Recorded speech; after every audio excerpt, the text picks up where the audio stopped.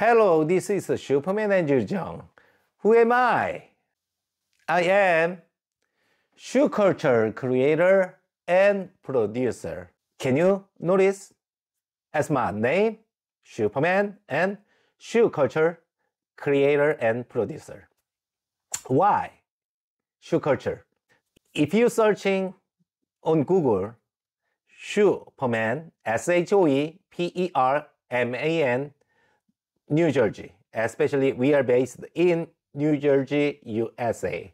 So you search the name by Shoeperman, New Jersey, NJ, then you can find some information of our shoes.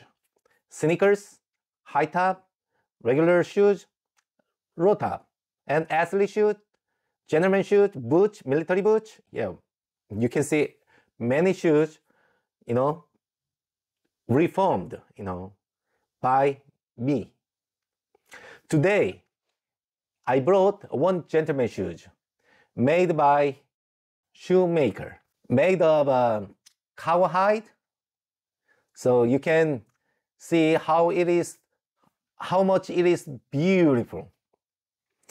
So anyway, as it is, it is you know beautiful, beautiful and nice, the gentleman shoes, but with my fingers and hand, it turns a little bit better. I can say a little bit better, but you might say, wow, whole lot better.